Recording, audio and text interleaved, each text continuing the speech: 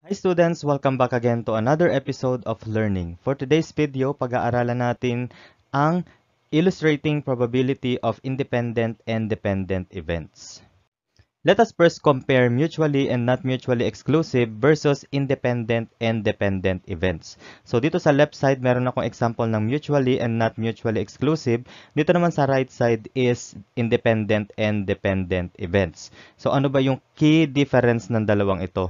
So meron ako ditong hinighlight na uh, words uh, a paper or a paper or dito naman is two papers and and two papers and.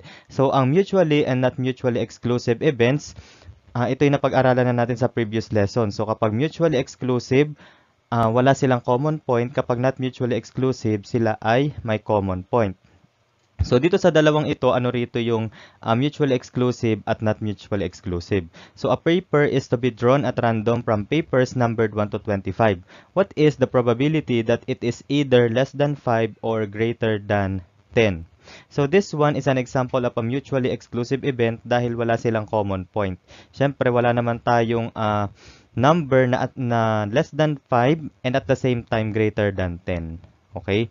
So, itong number 2, this is a not mutually exclusive event because tinatanong na probability dito is uh, that the paper is either even or a multiple of 5. Kasi meron tayong even and at the same time multiple of 5 like 10 and 20. Dahil sa mutually and not mutually exclusive, ang kinukuha natin sa, sa sample space natin is only 1. Okay, katulad nito a paper is to be drawn at random. Dito rin sa number 2, a paper is to be drawn at random. Ibig sabihin yan, isa lang ang kukunin sa ating sample space. Okay? Samantala, dito sa independent and dependent events, ang kinukuha natin sa sample space is 2 or more. Okay? So, two papers are to be drawn at random. Dito rin is two papers are to be drawn at random. Okay? So, ano pa yung uh, key difference ng dalawa?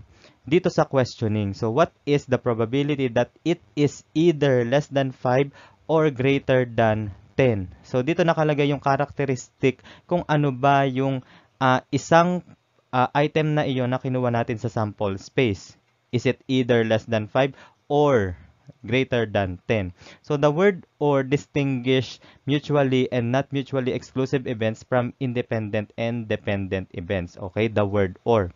Katulad dito what is the probability that it is either even or a multiple of 5. Kasi nga kapag ka nagkahalo-halo na yung problems on probability, kailangan talaga nating alamin kung ano yung mutually exclusive, not mutually dependent, and independent events. Now, dito naman sa independent and dependent events, katulad ng sinabi ko kanina, two or more uh, items or samples are taken from the sample space. Okay, pwedeng 2 papers, pwedeng 3 papers, 4, and so on what is the probability that one is even and the other is odd? Ang isa pa sa pwede nating ang maging palatandaan dito is the word end. Okay?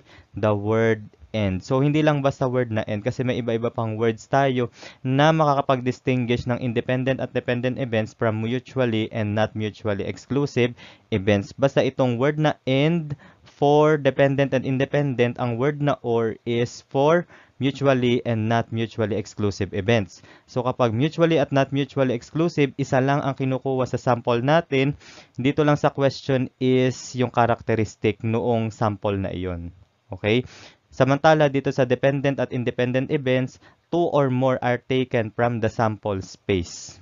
Now let's have the difference between independent and dependent events. Okay, so gamitin natin yung example kanina. Two numbers are to be drawn at random from papers numbered 1 to 25 with replacement. What is the probability that one is even and the other is odd? So, meron ako i-highlight dito na word which is this uh, word replacement. Okay, so ano ibig sabihin ng replacement? Ibig sabihin yan kapag kumuha ka ng isa, uh, ibabalik mo siya bago ka kumuha ng isa pa. Okay? Samantala, dito sa pangalawang example, Two papers are to be drawn simultaneously at random from papers numbered 1 to 25. What is the probability that one is even and the other is odd? Ano ibig sabihin ng drawn simultaneously? Kapag sinabi natin drawn simultaneously, This means in succession ng ating pagbunot without putting back the first one that we take. Okay?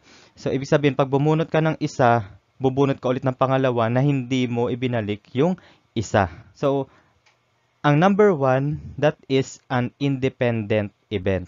Okay? Itong number two, this is a dependent event. So, anong pinagkaiba ng independent sa dependent event?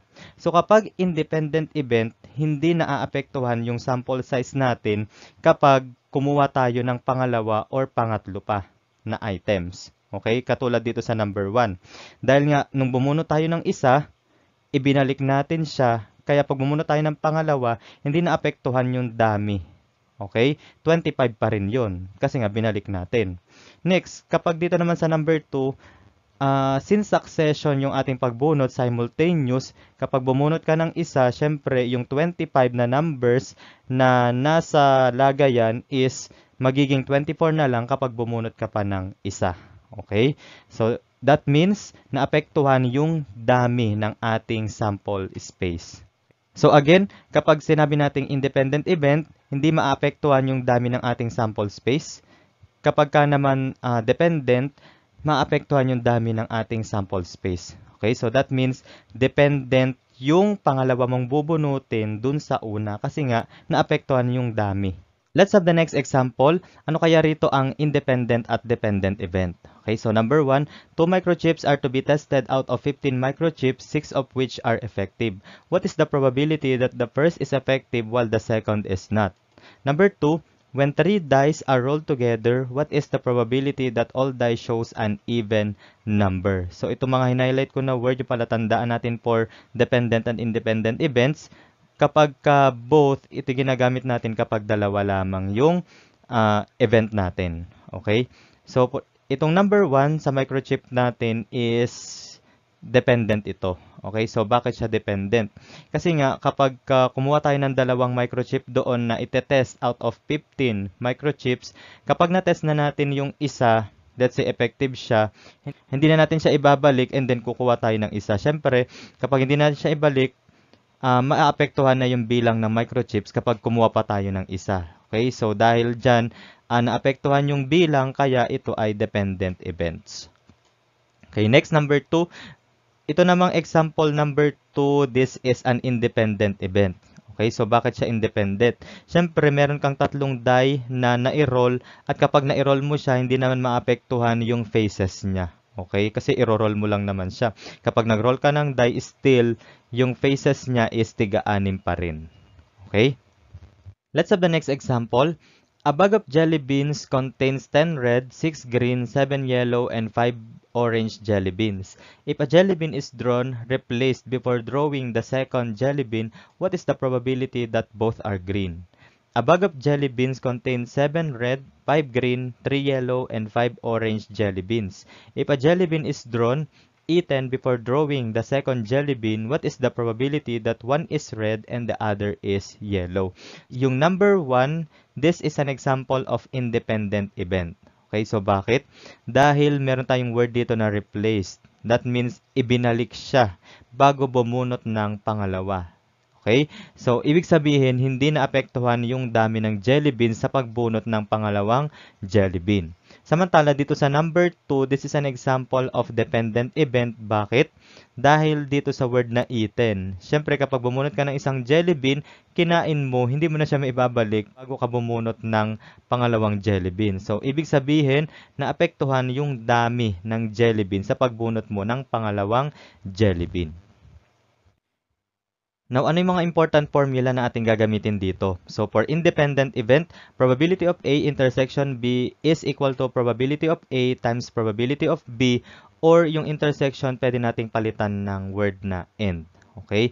So, take note na uh, event A must come first before event B. They are not interchangeable here. Okay?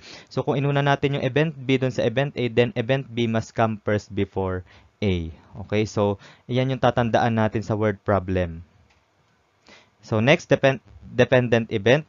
Probability of A intersection B is equal to probability of A times probability of B given that A has already occurred. Okay?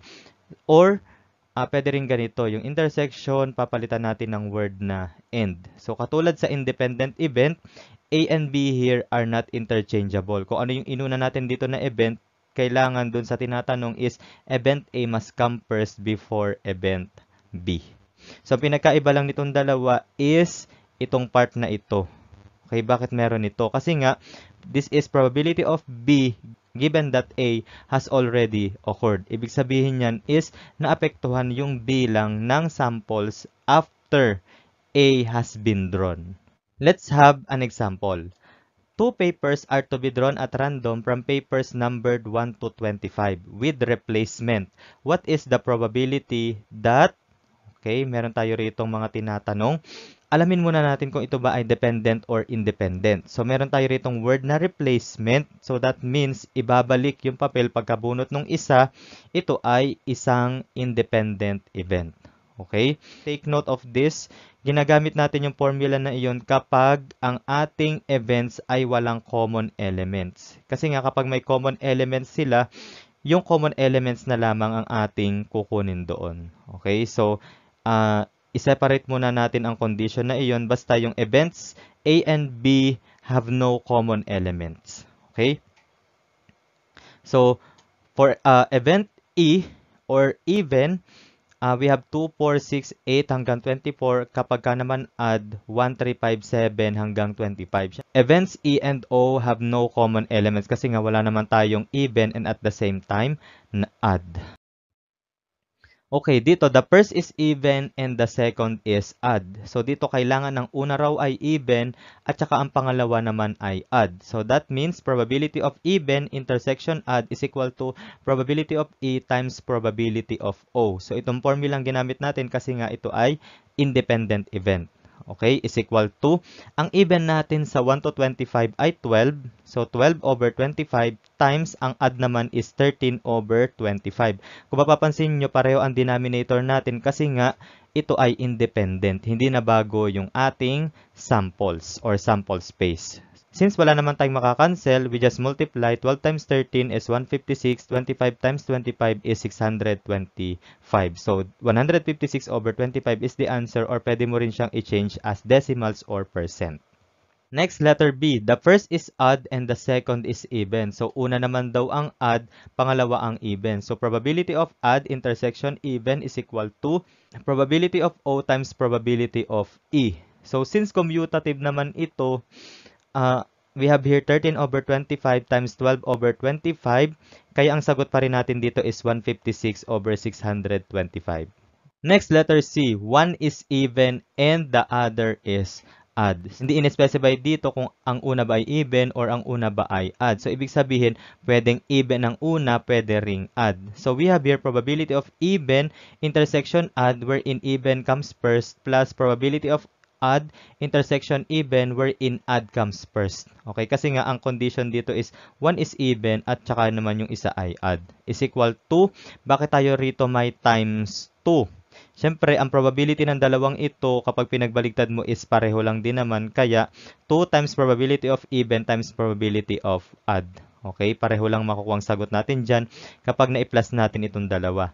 So we have here 2 times 12 over 25 times 13 over 25 is equal to 312 over 625. Letter D, both are even. So probability of even intersection even is equal to probability of even times probability of even is equal to uh, ang even natin is 12 over total is 25 times 12 ang even over 25 is equal to 144 over 625. So wala naman tayong makakancel kaya ito na yung ating final answer. Letter E, neither is even. Ibig sabihin, uh, hindi raw even yung dalawa nating makukuha. So that means probability of E complement intersection E complement. Ang ibig sabihin nitong E complement, ibig sabihin not even. Probability of not even intersection not even is equal to probability of not even times probability of not even. Okay? Is equal to So, kung ang even ay 12, syempre, ang not even is 13. I-minus lang natin yung 12 dun sa 25. So, 13 over 25 times 13 over 25 is equal to 169 over 625. Okay, next example. two papers are to be drawn simultaneously at random from papers numbered 1 to 25. What is the probability that, okay, so ito yung ating tinatanong. So we have here an example of dependent event naman. Okay, bakit dependent? Kasi nga, uh, idodraw sila simultaneously, okay, in succession. Let's answer the first one. The first is odd and the second is even. So odd comes first before even. So probability of odd intersection even is equal to probability of odd times probability of even given that odd has already occurred.